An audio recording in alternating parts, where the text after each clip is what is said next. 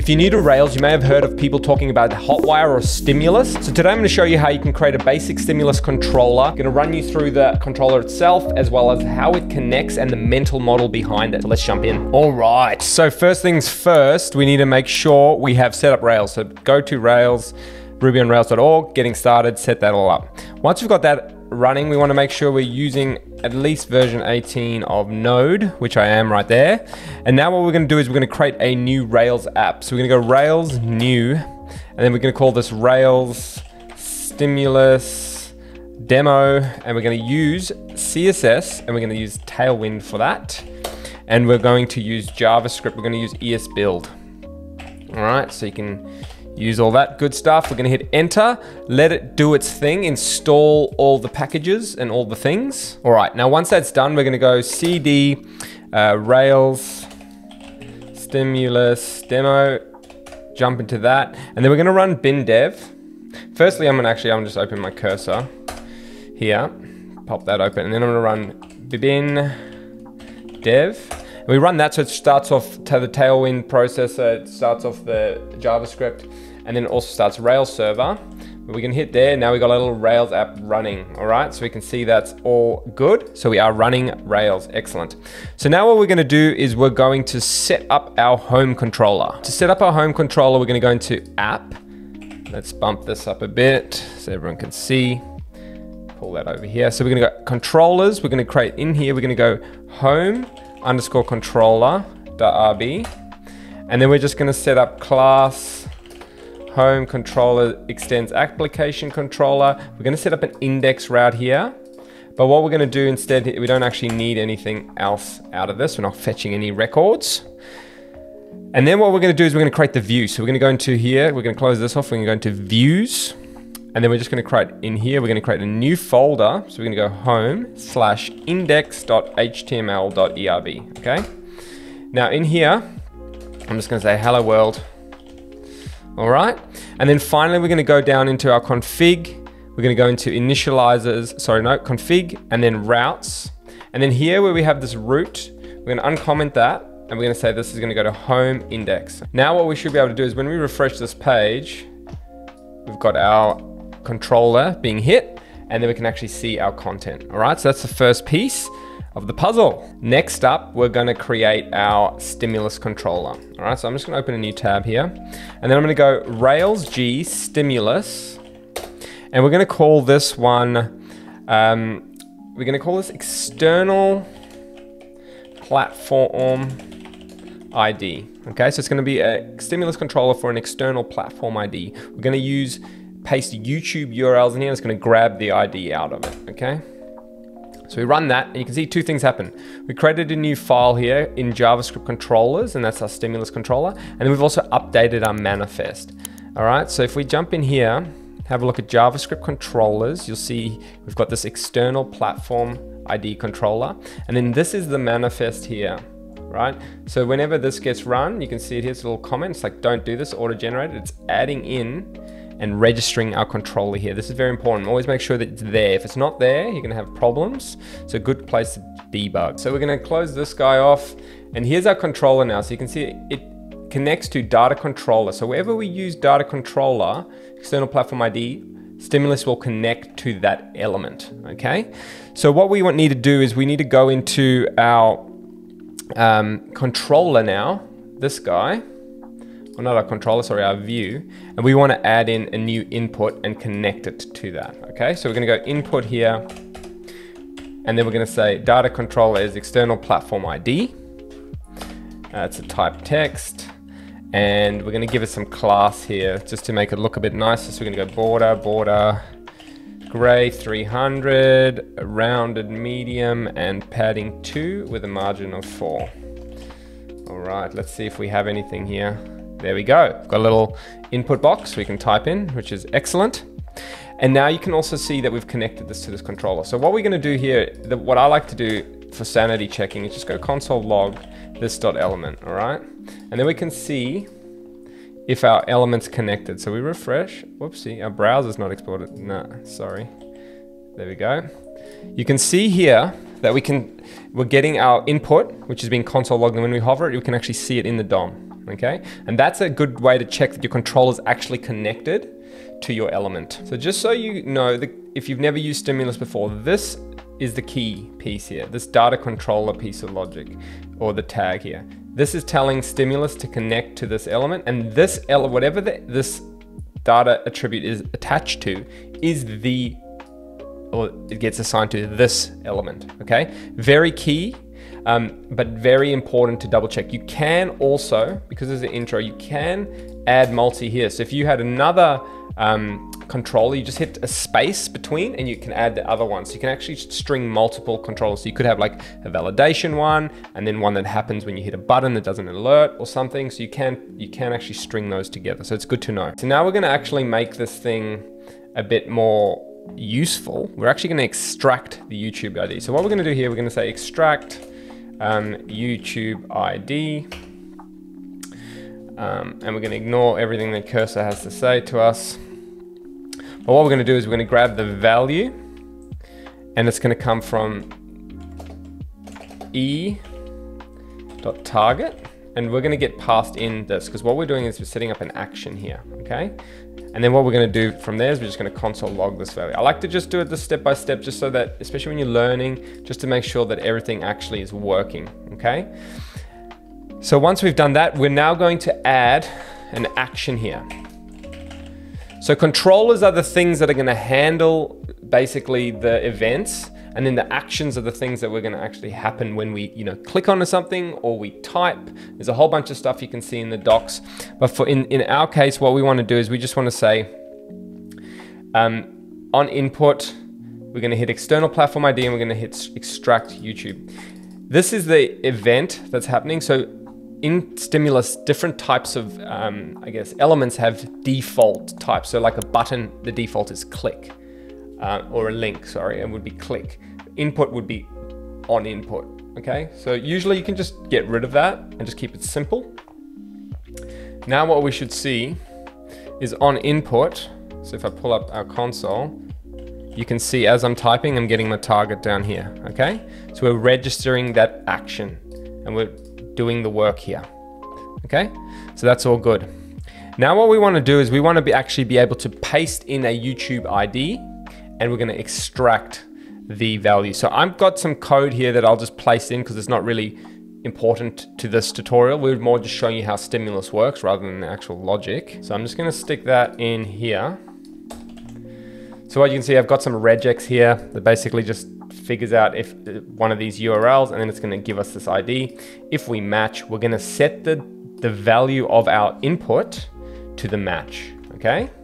So now if I refresh this page and I actually get a youtube.com uh, video and grab one of these guys, we just grab this, this URL. And then if we paste this in here, you can see what it's done. So it's taken this whole URL and it's trimmed this and left us just with this ID. And that's exactly what we want. So that's how you add actions to elements in Stimulus. It's just literally a data action. And then you're calling this part here is the ID of the controller, right? So you can see here it's underscored, but this gets converted into kebab case. And I'll show you a little trick that you can do as well, which is nice for debugging, is if you go window.stimulus, dot router dot modules by identifier, you can see here all the ones we've registered and you can see their IDs. This is really important. So this ID here is what we're mapping to here, okay? So I found it like when I started using Stimulus, is quite a little bit, it's a different way of thinking about JavaScript if you've come from something like React or something like that where everything flows down. This way, we use data attributes a lot. So we use data attributes so, so for actions, controllers, but then you can also pass data through as values. So you could do just like, um, you know, ID equals something. So then we can access that on the element. So use a lot of data, but also just making sure this like naming convention, right? That's really important. And if you don't know the exact convention, because if you have nested folders, you, you just come in here and you can actually see what's registered, okay?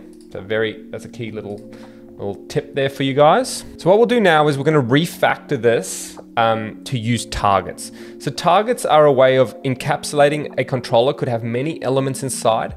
And for instance, if we had like a div uh, or a container that had an input and a button, you could have the button target and the input target. And then that way you can know where to put things in when you want to, like if you push the button, fill the input target with certain value.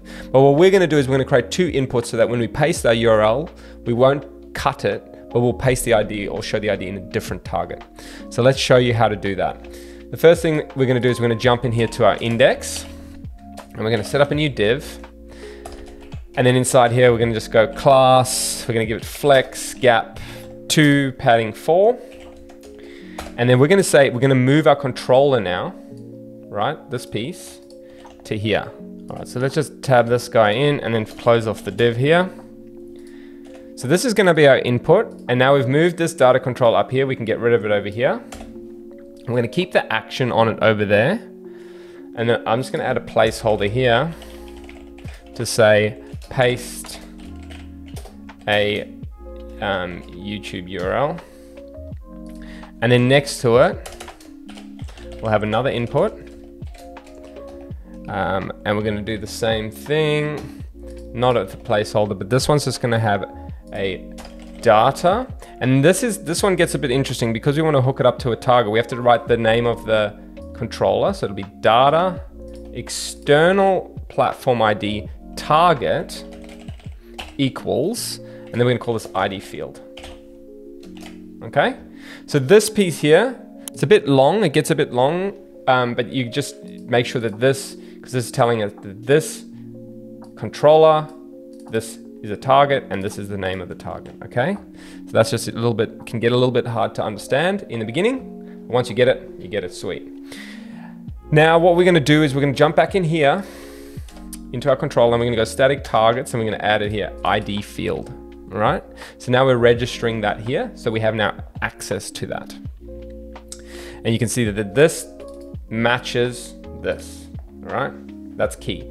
And this matches the controller, okay? And then we're just saying target here. And there's some cool methods we can use with these. We can say, for instance, if we go here, we can say console.log and we can say this dot has an ID field target, right? Because then we can actually work out do we have this target or not? Sometimes it may not have been included in the HTML, you know, depending on how you're rendering it. So now if we just go in here and just, for instance, we can just type, you can just see it says true here. Okay, so we do have that. So what we're gonna do is we're gonna say, if we have a match and we have the field target there, what we want to do is we want to say this.id field target. So not the has, just this.id field target dot value is equal to the match. All right. So let's grab that URL again. Uh, whoops, there. And then we're going to paste that in there. I need to refresh the page. Paste that in there. And now you can see we've got our URL and we're using our target as the output here, okay?